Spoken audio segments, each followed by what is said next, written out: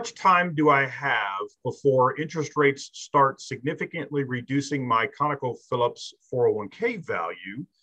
And a additional part to that question is, do you predict that the retirement would be better if I was assuming uh, this year was a potential retirement date for me, that next year might be better? And will interest rates continue to rise? I guess there's a couple of questions. There. Yeah, uh, let's see if I can remember all that and unpackage this a little bit. So the first question was, how long do I have until interest rates affect my 401k?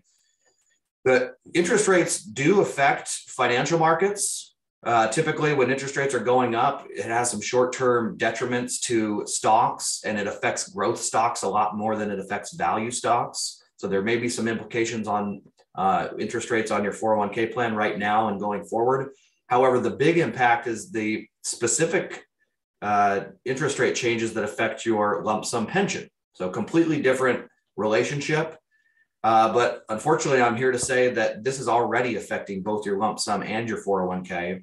Uh, lump sum, you, the only control you really have over that is leaving the company, which may or may not be feasible.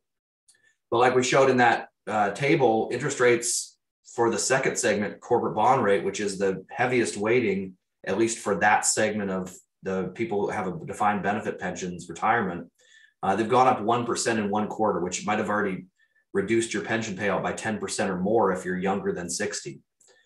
Uh, this is probably going to happen again, unfortunately, in the fourth quarter, but unfortunately, we will not know the exact detriment of this interest rate hike until late July, about a month out. Uh, they will publish the June interest rates. They haven't even published the uh, May interest rates yet, but they probably will later in the week or early next week. But the June interest rates are the fourth month prior to the quarter that you are leaving the company, which is June for the fourth quarter, folks. Uh, we won't know until July. And my guess is that they're going to be even higher than the third quarter, which means you have to leave the company by August 31st, commence your pension by September 1st, because your commencement date can only be the first of the month. And that would allow you to maintain the third quarter interest rates if you expected the fourth quarter interest rates to be higher and therefore your pension lump sum to be lower. So you can see there's a lot of moving parts here. Uh, we're paying close attention to this. Uh, I encourage you to call us so we can go through the exercise of running several pension projections. And if you haven't done so yet, building that cash flow analysis so you can evaluate if you can even afford to leave the company or how you might be able to do so uh, based on your expenses, your current budget, and your resources. And uh, Patrick, do you mind the second part of that question? I completely forgot. Yeah, that that's all right. So, yeah, the, the second part of that, of course, is correlated, I guess, if you're assuming your values for things are going down, if someone's potentially considering retirement this year. And so the question is, do you predict that retirement will be better this time next year? And then if interest rates are affecting that, will they continue to rise? Those are the questions. Look, everybody's different on this. So again, it just goes back to running the cash flow analysis. However, let's talk about some of the dynamics of the economy and the interest rate environment that we're in today. Interest rates are going up in part because we've had some of the highest inflation numbers in 40 years. Uh, this is uh, a hope to curb or help to curb inflation.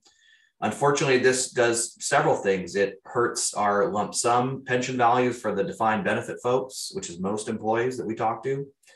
Uh, it hurts your existing fixed income investments, like your bonds in your portfolio. We've seen uh, drop in value, uh, many of them not as bad as stocks.